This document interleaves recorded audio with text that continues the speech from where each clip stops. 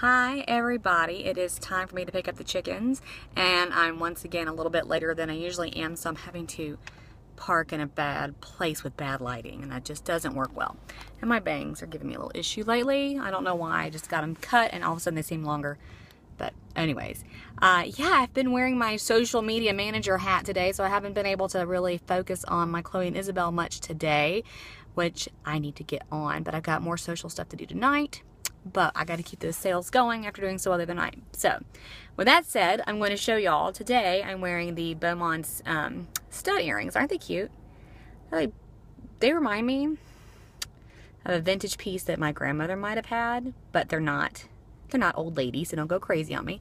And then necklaces. This is the smallest um, disc in the graduated um, three-row palliate, palliate, how do you say that?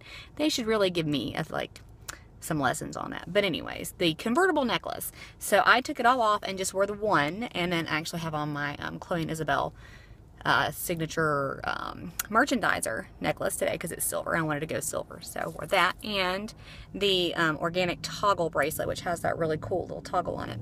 Um, so yeah, today I went kind of simple because I didn't want to scare anybody when I was talking about how I was going to do some work for their business. Although I don't think I would scare him because he already knows I'm a little cuckoo, but that's okay. So, anyways, I hope you all had a fantastic Thursday. Um, check out my boutique. I'm going to update it soon. Um, I've got some ideas of what I want to do to it, but it is a little bit crazy right now. Hopefully, it shouldn't hinder your shopping in it. But if you can't find what you're looking for, just message me and I will um, find it for you and get it to your house so you can wear it.